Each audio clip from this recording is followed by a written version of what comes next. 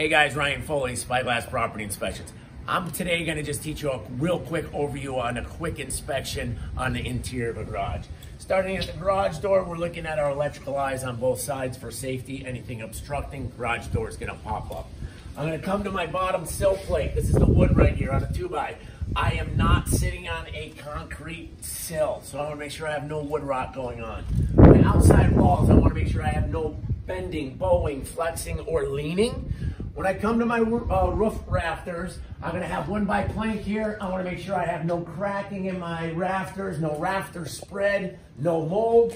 GFI outlets I need in the garage at all times for safety. Quick general overview of the interior of a garage. Ryan Spyglass, have a good day.